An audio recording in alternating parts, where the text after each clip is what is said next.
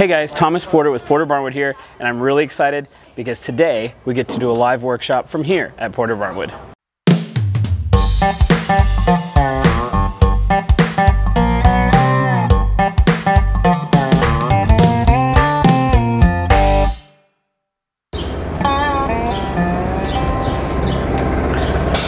Awesome. So today we're going to be talking about mantles. And in particular, I'm going to show you how to take a solid wood reclaimed beam like one of these guys and we're going to turn it into a mantle for your fireplace. Now there's a lot of ways to do that.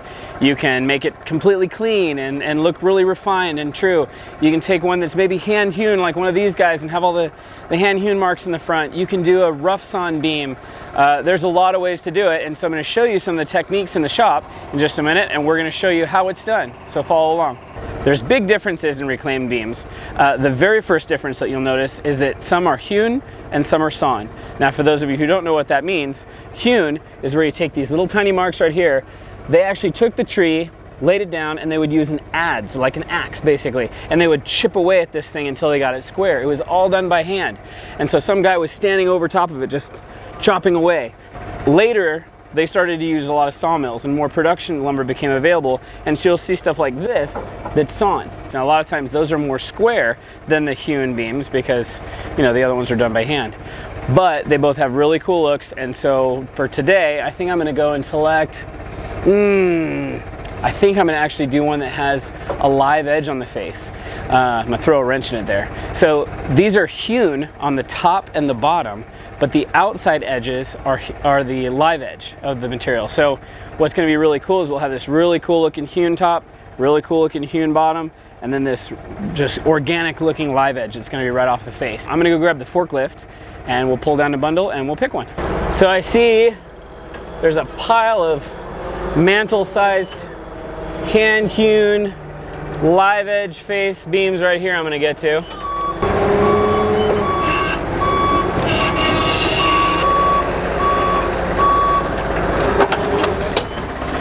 Now since I'm building this for a class and I have absolutely no place that I'm putting this, my dimensions are going to be very easy for me to find. But I want something that looks really cool. Look how cool this is. On the top, here's my hewn surface. On the other side, I'm gonna have a hewn surface like this. And then right here, I've got these really cool bulbous knobs and stuff and all this beetle hole action going on. This is a really cool old oak beam and it's really dense. I like it. I think this will be great. If I flatten it just a little bit, I'll be able to get a little bit more out of this distance right here. We'll still end up with a little chunk of this knot. We might miss this one. And the other side, other side looks cool too. Yeah. I don't know. Let's uh let's see. If I if I straighten off the back side of this one, I'm gonna have a knot here I'm gonna have this bulbous portion right here. I might even like this side better. Well, let's take it in the shop and, uh, and see what it looks like. All right, so the very first thing we're gonna do before we touch any tools whatsoever is to learn about PPE. Basically, when you're in the wood shop, you need to have safety glasses. It's really, really important. There's a few other tips and tricks that I'm gonna teach you along the way, but it's really important to stay safe because you don't wanna lose fingers, you don't wanna lose an eye. There's no reason you can prevent it. So very first step is going to be wearing a good pair of safety glasses. Now, you might think, I can just wear my regular glasses. And in some cases that may be true, but you really need polycarbonate glasses of some kind to protect from things flying in and shattering and not destroying your eyes. So make sure you're wearing a good pair of safety glasses. That is probably the most important thing I could tell you. Uh, secondly, don't wear gloves. I know it sounds counterintuitive, but even by OSHA standards, you are not supposed to wear gloves around woodworking machinery. The reason is, if you were to stick your hands in and you nipped a little of your finger off, so be it. If you stick your hand in and you've got a nice leather glove or something on, it's gonna take your entire hand in, and that's not fun. So don't wear gloves around power tools, be safe, read the manuals, do what you're supposed to do, and everything's gonna be just fine. So the first tool I'm gonna introduce you to is the jointer. Now the reason why the jointer is so important in our shop is because it makes very fast work of cleaning up and straightening the back edge of one of these beams. And with a live edge one, it's really wonky. So we need to be able to push it through this machine and flatten the back perfectly so it'll sit up nice and flat up against the wall. Now a jointer, if you come on around, What a jointer is, is basically like a planer blade that's in this table right here. You see that blade? Now on this side, this is your outfeed table, and the outfeed table stays the same all the time. It's, it's uh, static. This table is your infeed table, and if you'll notice, if I lower and raise this, you see the table drops. That comes up, table drops. What happens is the wood goes in this way, and once it hits here, this planer blade is taking off portions, and then the flat portion is here, and it's running past on this side. So it's, uh, it's a good idea to only take off a little bit at a time, and there's also another method I like to call frown side down. And what that means is if you have a board that is curving this way, like it's frowning, you put the frown side on your infeed table. That way, when you're pushing it through, you're taking off a corner, that corner rests nice and easy, you push through, you've got another corner. You set it down, you keep going, and you whittle away at it little by little until finally you've got a nice flat surface. Now, if you were to do it on the smile side, you're gonna rock it like a boat, and it's not gonna work. You're gonna have toothpicks by the end of this thing because you've been running it through and running it through and it's rocked and it's gone back and forth and it's very difficult to get a straight piece of wood that way. So try to keep it frown side down.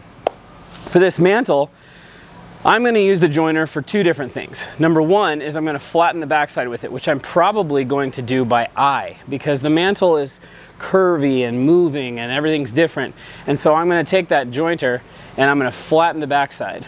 Then I want to have a nice perpendicular uh, plane to it. So I'm going to take that flattened side, put it up against my fence, and then I'm going to joint the other side so that I can get a perfect 90 degree. From there, I can take it to my planer. So let's go ahead. You're around a joiner, it's a really great idea not to have long hair, not to have a necklace, not to have any loose clothes.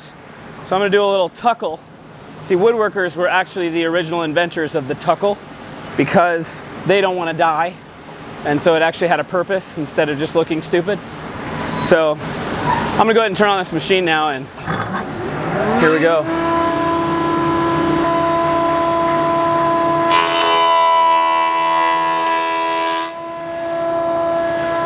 What I'm doing is I'm taking down this nub that's on the end first.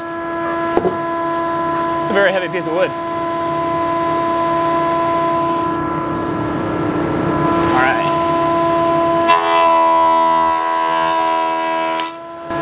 So I'm leaning it a little bit this way and I want to straighten it up. So I'm just gonna just barely twist it as I'm sending it through. There we go. Now it's flat and it's gonna stay there for me. Make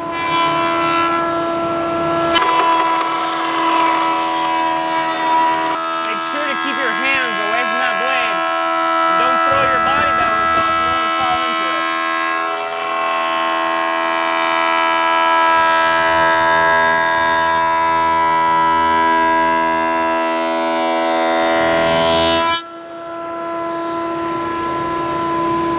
Take a look. We're getting close. I have a lot more surface area here where we're gonna put our cleat. Probably got maybe one or two passes and we should be good.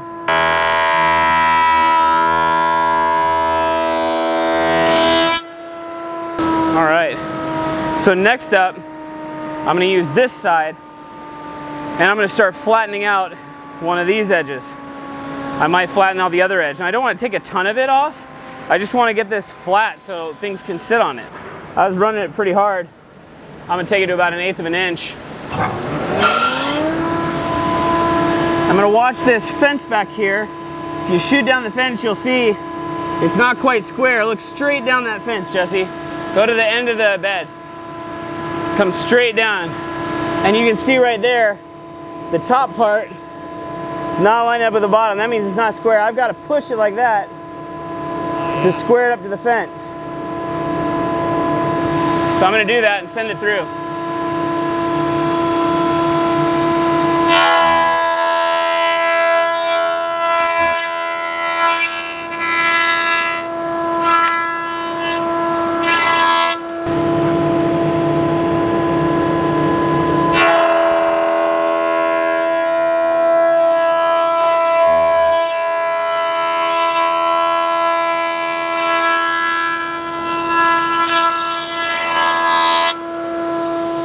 Let's take a look.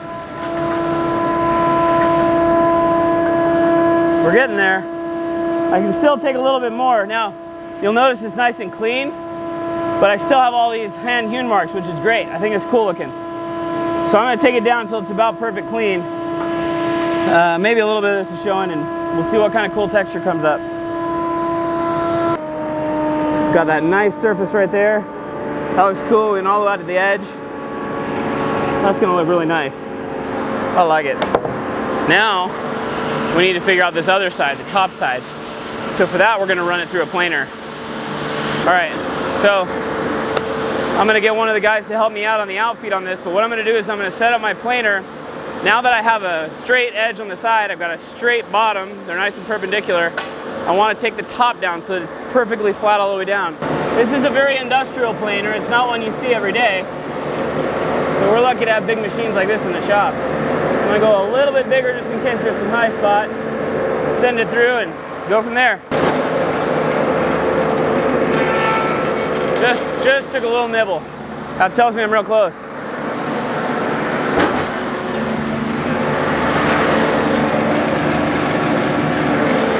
I'm gonna come up about a 16th of an inch at a time.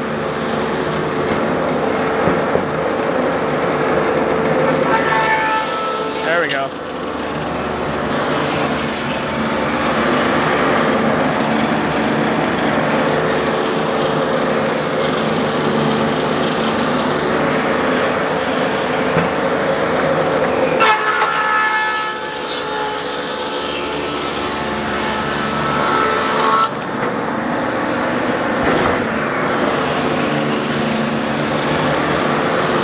All right, so got a pretty decent flat top.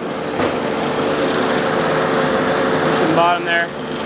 I kind of like this the way it is. I think we're good. Yeah, I got a nice flat bottom, flat top. I'm gonna chop off the sides, probably somewhere around here, here with a chainsaw. We're gonna start sanding. Sweet. Yeah, we got about a six inch thickness, which is fantastic. Most people end up having like a three or four foot fireplace and they have like a six foot wall and they end up wanting something right in between, like right at five feet.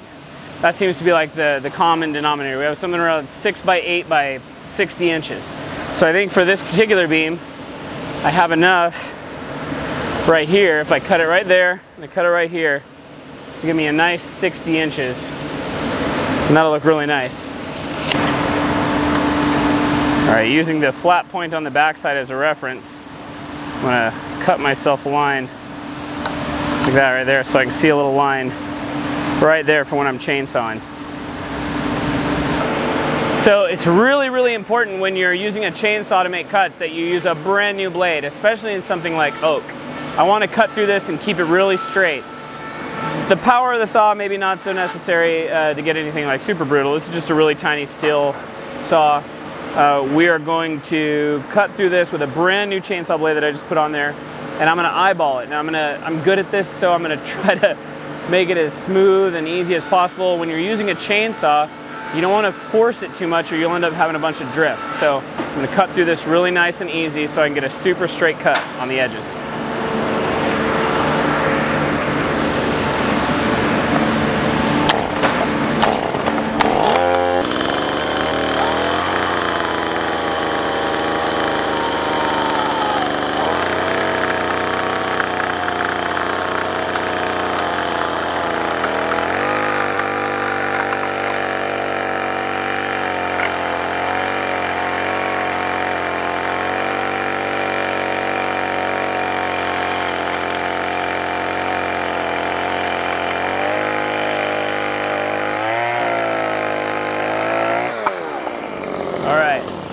I'm gonna check that for square. That's awesome. This way, that's really square for a chainsaw cut. We're about a 16th of an inch out, which is totally acceptable. So I'm, I'm glad, that's awesome. Let's do the next side. Make myself a little mark.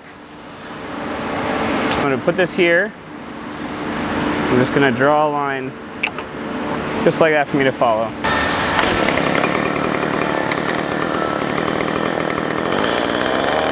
You notice I'm not running this at full speed. I have a better time cutting if I'm about halfway.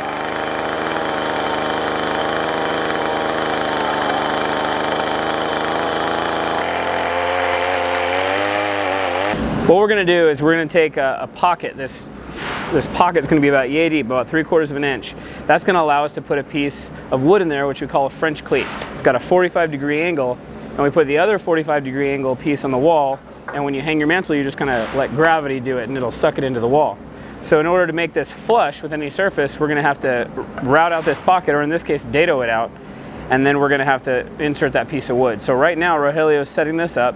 Now a dado blade is different from a regular saw blade. It's multiple blades that are stacked together. You see this one right here? That is, uh, that is a big, giant, gnarly dado blade, and this guy's gonna spin around and all these different blades are gonna take a big chunk out of it. And we're gonna move this fence back each time so that we can take more chunks and more chunks and more chunks until we have this really nice big, what they call a dado out of the back of this. Yeah.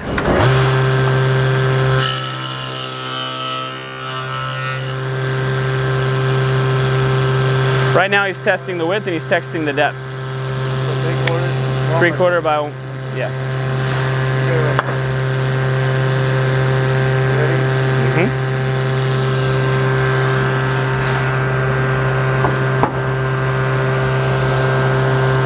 What he's gonna do is he's gonna push this back. A little more. You wanna go to the line, right? Yeah.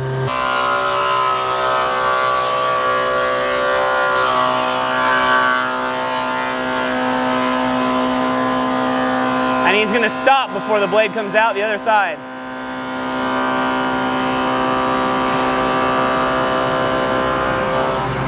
And we're gonna rock it.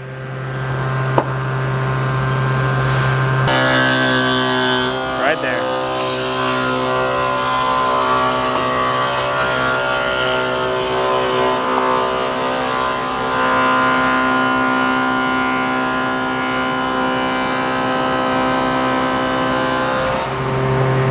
This is nice to have two guys doing this.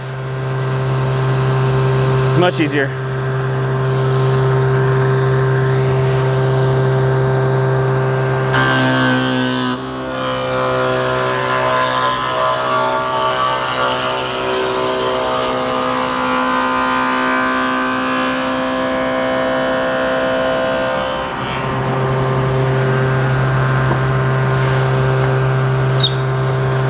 Time he does this, it's getting a little bit more and a little bit more, and we can take some of this chip out, no problem. We're trying to hog all this material out so we can get that cleat in there. We actually do French cleats so much that we have a dedicated table saw outside with a dado blade just for French cleats.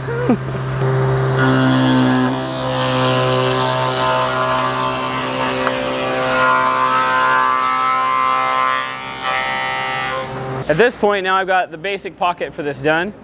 I'm going to take this inside, and we're gonna start sanding it, distressing it, and turning it into something that's ready for finish. All right, so the next step is gonna be sanding. Now, I use a random orbit sander, but not just any orbit sander. I've gone through so many electric sanders over the years um, that I just kind of give up on them. And so we have a really powerful uh, air compressor here in the shop, and we use air sanders. This is a six inch PSA, uh, which is basically the stick-on kind of six inch disc. And it's an air sander made by Dynabrade. This is my favorite uh, sander to use. Variable speed, they last forever, but you really need a good air compressor to run them because they are, they are monsters. Now, one of the other things that I do that maybe is a little bit of an industry secret is I don't buy regular sandpaper. These are a little expensive, but these are a cloth back paper that I, that I have made for me. And this one is an 80 grit, which is gonna be our first step. This is 120 grit, which would be our second step. And then for finish, we're gonna go with a 180 grit. If you're going for a really, really gloss finish or something, you might go to 220 and then carry on beyond. But with reclaimed wood and with the kind of look that I'm gonna go for in a flat lacquer, the 180 is gonna be plenty. So in order to use a PSA instead of a hook and loop, what you do is you just peel this back and you can see the cloth right there, right? This is a really good, strong cloth back. Now I'm just gonna look, center it, boom, I'm set. Now there are several different types of random orbit sanders. When you get into, into the nicer industrial heavy duty stuff, they're gonna have a 3 8 inch orbit, they're gonna have a 3 16 inch orbit, and they'll have a 3 32 inch orbit. And that's, that's the secondary orbit. Besides spinning, it's that secondary orbit with the little swirls. With a 3 8 you're gonna hog off a lot of material. With a 3 16 it's like somewhere in between. It's like the Goldilocks of sanders. 3 32 is for like finish sanding and things like that. So almost all of them that I use are 3 16ths. I'm gonna hook this up and we're gonna go in. Now I've got 80 grit on there because I wanna hog off some stuff. And uh, so we're gonna just jump right in.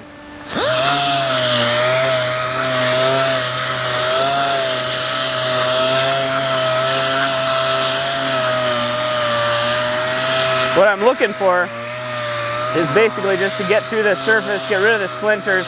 I really like this live edge and I like the contrast it provides. So I'm just gonna get into some of these cracks, get rid of some of this old splintery junk that would fall off anyway, and reveal the wood underneath so that I can put a really cool finish on there.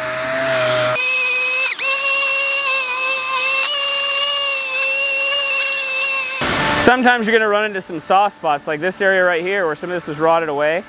And so what I'm gonna do with this area is I'm just gonna hit it with a hammer, see what I can knock off. That's too soft to put any finish on, too soft to sand. I'm just gonna hit it and knock it out of there. What's great is I've got a live edge beam, so it just looks like more live edge.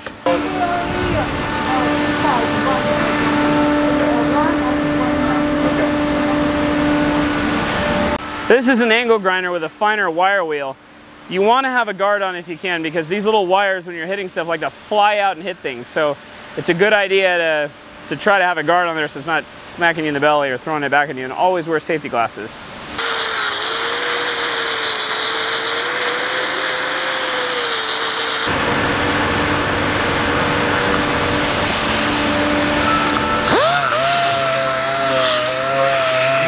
Gonna go over this whole live edge until I feel like I got all the big, big chunks done. I'm gonna round off this really awesome looking knot on the front, just so it kind of blends a little better. The 80 grit really takes a bite out of it, so it doesn't take very long before you can really shape it. And I'm gonna curve that in. What I'm gonna try to do is be real conscientious of the jointer marks. So sometimes there's little ripples that happen where the jointer uh, or the planer made little knife marks. And I'm watching the surface really closely for any of those so I can get rid of them. They won't show through on the finish. Now if you don't want swirl marks with these guys, because that's what happens all the time with swirl marks. If you lay this flat on a flat surface and you sand, you're not gonna get as many swirl marks. If you curve like this, you're gonna get tons of them.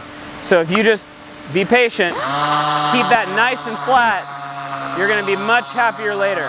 So this tattered up old sander is a belt sander. It's, uh, it's got a four inch belt on it that I can use to kind of speed through taking down some of these planer marks, make it easier on myself. So uh, I'm gonna go ahead and use this real quick to take care of this surface because I have a few little divots I'd like to get rid of.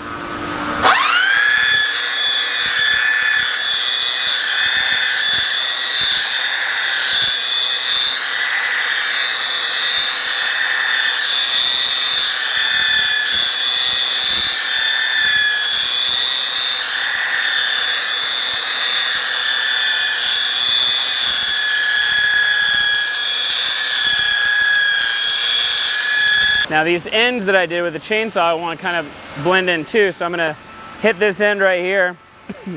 I want to see some of this rough sawn, you know, mark that I made with a chainsaw. I like that it's rough. I'm to hit it with the 80 grit, but I want to leave a bunch of that. End grain is a lot harder to sand than the long grain.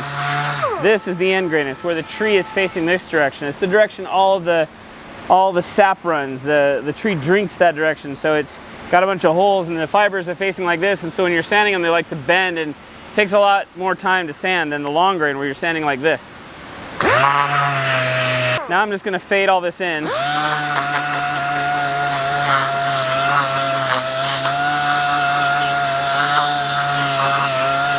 And now I'm gonna go to 120 grits, which is a finer pattern, and I'm gonna end up uh, at 180, which is gonna be the finest that I'm gonna go today.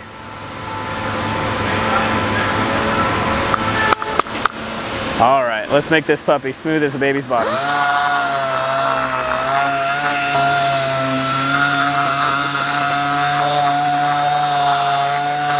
Switching to 180 for our final pass here.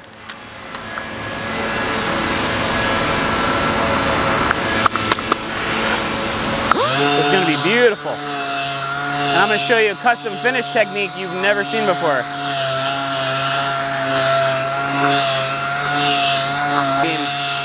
Pretty, the beetle holes. Sometimes it makes it soft and funky and I just think stuff like this looks so cool because it's got so much history, story. Even after being chopped down and lived in for however many hundreds of years, eaten by bugs, this tree still is given. Still becoming something beautiful. Inside of every one of these little beetle holes is, is little sawdust that's been there for a long time. I'm gonna hit it with air just to blow out a bunch of the junk that's sitting there so it doesn't fall out after I finish it.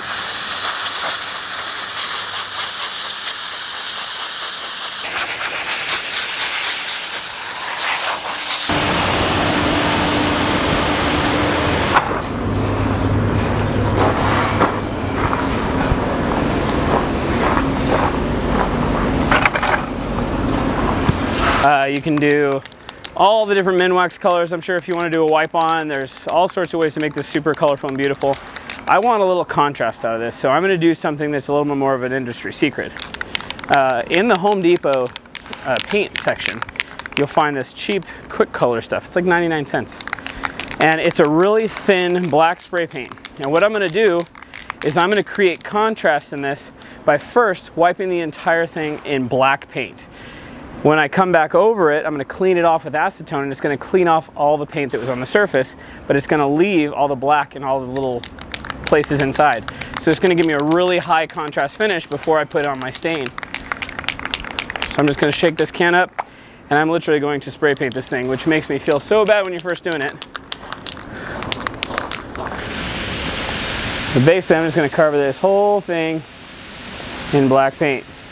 And I'm trying mostly to get into the nooks and crannies, everything down in deep. All these little hand-hewn notches, everything in there, we want to get them nice and deep. Don't worry about spraying too much or too little or making it run. It really doesn't matter at this point. We're just trying to get a really nice black paint inside of all those little edges. It would be a really good idea when you're spraying these things to have a mask um, if I could get any right now because of the COVID-19 situation, I would be wearing one. But uh, I am saving all the masks for the guys, taking one for the team. So, so I'm just gonna take a shop rag and I'm gonna soak it with acetone. And you see this beam right here, the dark beam? We're gonna scrape off all of the all the paint in the loose areas first. So I'm gonna get this rag nice and soaking wet with acetone just start wiping this away.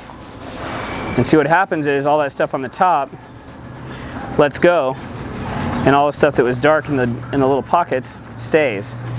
And so we're gonna get this really cool high contrast thing going on with the finish. We'll rub some of that in here.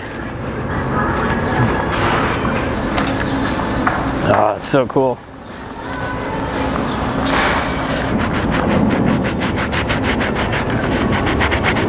All right, so I mixed up a little bit of our stain. I'm just gonna take this and wipe this on here. Give it a little bit more, more of a warm color. In some of these spots where I have a little bit of that sawdust shown, I'm just gonna blot it, make it a little thicker.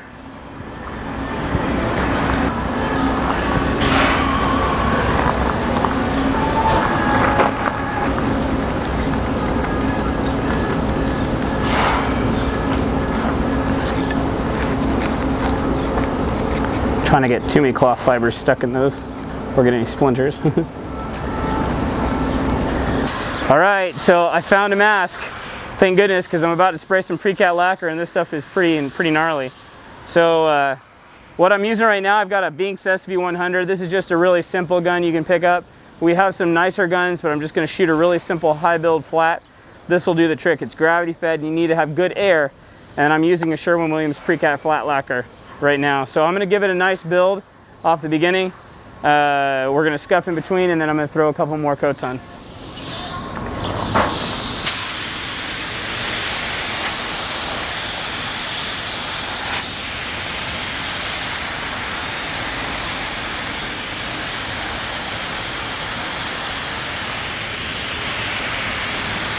You want to act like a printer. You want to kind of go past the edge and then come back to it again.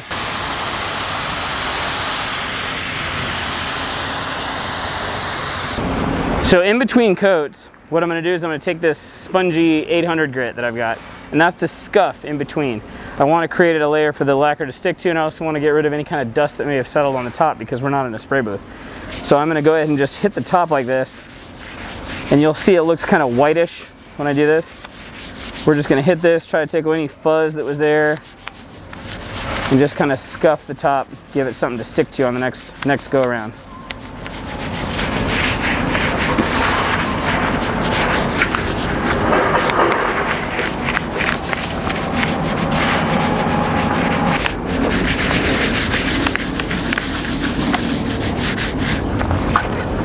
Right, I'm gonna shoot it again.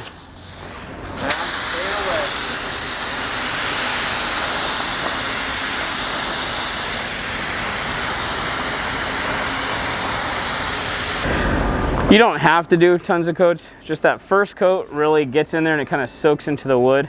The next coat is creating a build and I kind of want to create a nice thick sheen on here. I want it to look like it's been lacquered. So, see some little fuzzies I want to get rid of. Right there.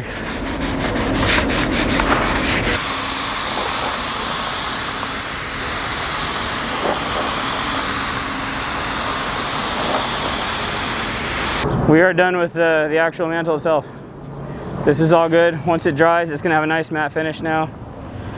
Um, I'm gonna measure it up and we are gonna move in there and start building a French cleat. All right, so this French cleat pocket right here is about three and a half inches, which is smaller than I usually like to make them. Actually, just a little, a little over three and a half, but right about three and a half. So I've got to make sure that I have enough room that I can put the French cleat in, take the other piece, set it in, and let it move up. That's a really tight space, so we're gonna make a couple of small French cleats and they need to be out of something really hard so it's nice and strong. Right now I'm gonna take this piece of white oak. White oak is really strong and uh, I'm gonna mill this down to three quarters of an inch. We're gonna start making our, uh, our French cleat material out of this because this is gonna be nice and sturdy. All right, so I got about 45 inches of space and I've got three and a half inches vertical. So I'm gonna go ahead and make this easy on myself before I start planning and just go ahead and cut this somewhere real close to 45. I don't need to be super exacting on the chop saw here.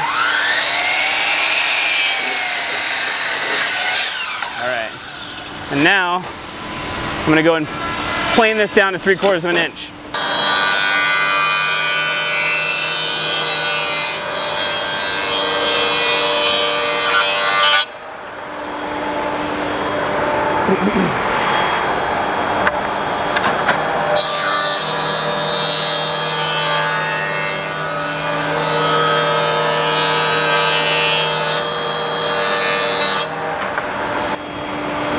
Over to the jointer, joint one edge.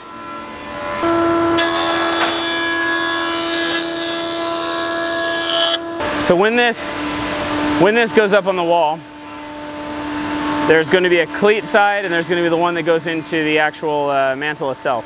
The one that goes into the mantle itself I can make a little bit smaller, but I probably want to make the one on the wall a little bit bigger. I only have three and a half inches of space with this one, and so I have very tight space. And if I've got a 45 and a 45 and it has to go like this, I've got to have enough room for the 45 to go in and down. So I need to take an inch away from that three and a half, so now I'm at two and a half. And then I need to get the, uh, the 45 in there as well. So I'm going to make each piece uh, approximately like an inch and a quarter in order to make this work. So I'm gonna set up my, uh, my table saw. I'm gonna set this at about two and five eighths.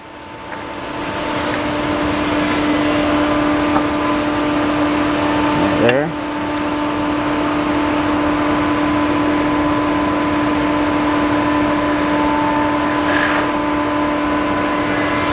Perfect. And then I'm going to go ahead and cut this right down the middle like that.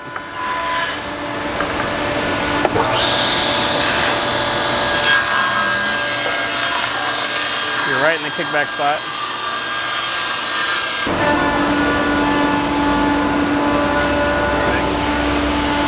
All right.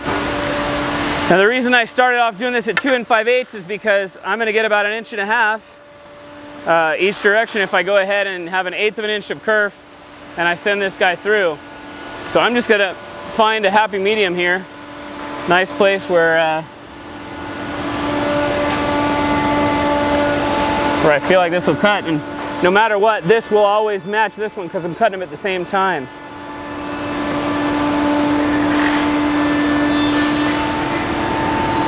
So we'll get a nice thicker one off this side and a thinner one off that side. And when I send this through, I don't want to do this with my hands. I need to find a little piece of wood to push this through with.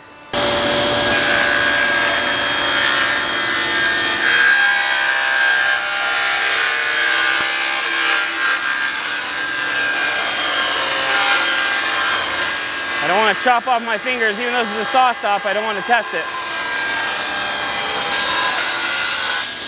All right. And there we have it. One of the things about oak is that if you try to drill through it with just a screw, uh, it'll split. So I'm gonna take a countersink and I'm gonna go ahead and run through this side and create a couple holes where my uh, screws are gonna be going into the mantle. Probably put five. And countersink creates an extra little bevel there so that the screw can go all the way in and stay flat. This is nice and dry. It looks really awesome. I'll go ahead and flip that down. I've got square head screws that we have here in our shop.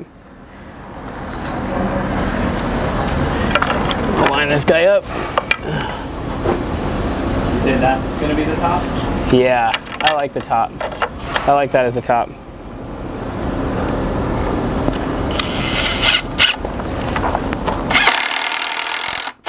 Boom. All right.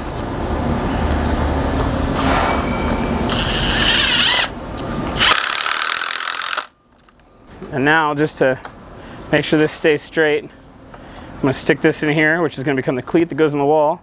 There's plenty of room I can see to slide that in and go up. I'm gonna put those in there.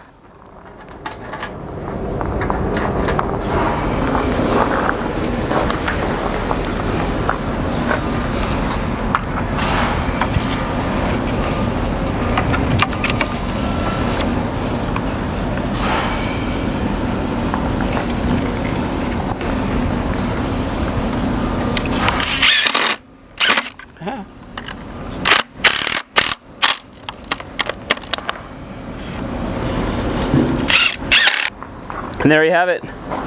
One completed mantle.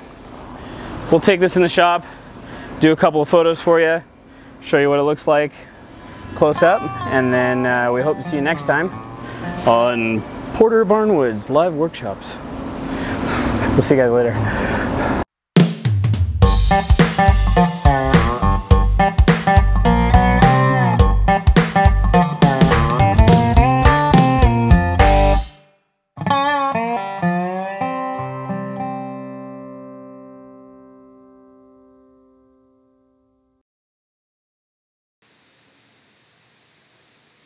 Hey guys, uh, thanks for joining in today. I hope you had a good time. Uh, Jesse and I, this was our first attempt. Say hi, Jesse. this is our first attempt at uh, putting together a little live video from the studio. We're all uh, we're all here in the showroom where there's not a lot going on.